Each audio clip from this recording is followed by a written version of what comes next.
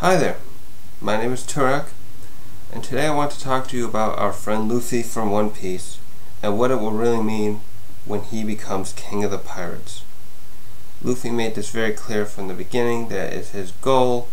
He heard from Shanks about Roger and becoming king of the pirates. When he traversed the Grand Line, reached Raftel, doing something no one had ever done before.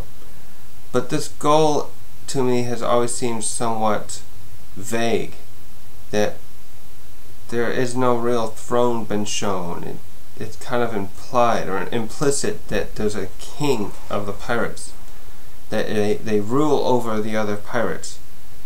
But there's no nothing to show that and it was even stated by Rayleigh that people started calling Roger king of the pirates when he reached Raftel and, and did all his accomplishments. And Luffy himself has stated he only wants to be king of the pirates to be the most free man in the world. And this is the center of where I see this uh, issue with uh, Luffy doing this. And this correlates with his character of not really thinking things through, which we all know he does in, in vastly. When he becomes the king of the pirates, we all know he's going to do it, and I think it's great that he's going to do it. But I don't think it's going to be great for his crew if they're not ready. Because the supernovas want to be the king of the pirates. The Yonko, they all covered this position and Kaido and Big Mom have been holding onto road poneglyphs so that no one else can do it before them. When Luffy does this, and uh, back to the Marines too, the Marines are gonna be hunting down Roger. They, they hunted down Roger and they hunted down all his children, potential children, when he was executed. What do you think is gonna happen when Luffy becomes king of the pirates next? They're gonna come after him with everything they got. And I don't think Luffy's ready for this being the most free man. When when you're a king, you're not necessarily free, are you? You're you got this burden on you.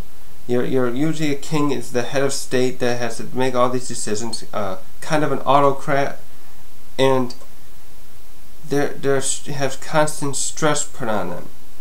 And Luffy, while he's not going to be the real king of the pirates, is going to have a lot of stress of enemies all around him an actual king would have too. Political enemies usually for the king. People who want to take over that position. You want to usurp the throne. I don't think Luffy's ready for that, and I think someone like Rayleigh should have sat down with him and tell him that. Though I think Luffy would never listen anyways, and they they see the spirit of Roger in Luffy. I feel like some adult Garp would probably have been best, but he doesn't. He always just him and Luffy just fight anyways. So sit down with Luffy and let him know the odds that are against him when he becomes king, and specifically what that means for him and his crew. Because Luffy really cares about his crew, they're his family. Does he really want all those odds against his family? he should really sit down with them and talk about this. Guys, we're, we're gonna have all these people against us. Are you ready? That's all. Something. Some kind of character growth here. No, it's not all bad for Luffy to be king of the pirates. I, I'm making this a painting a very bad picture here, but I think Luffy will be a great standard bearer of pirates because he's not really a pirate, is he? he's more of an adventurer. I really think if Luffy had started out without raising a Jolly Roger and he was sailing around with his crew, and he could have almost like freelanced for the Marines or something, helping uh, righting all these wrongs that he did with uh, regards to something like uh, Arlong.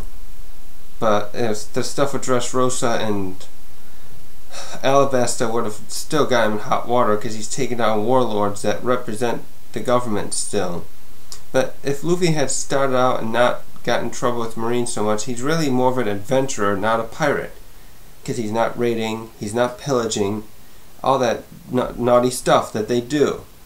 They're looking for treasure.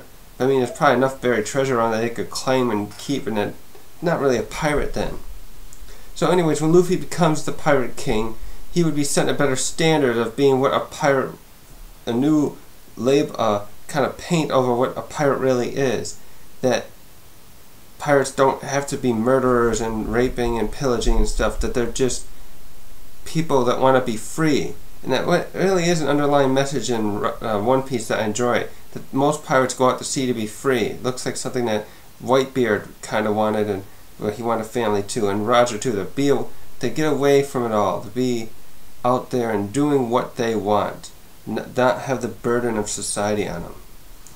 So Luffy as the uh, Pirate King, it sounds like a good thing as long as he's ready for the odds. I hope by then he's awakened his devil fruit and has the strength to take on admirals because they're going to be the first ones after him, I'm sure. It won't be just one admiral like the celestial dragon summoned at Sabaody. It'll be all the admirals, I'm sure, and the vice admirals going after him to take down the Pirate King. And you can bet they're going to go look everywhere he was too and see if he had any kids.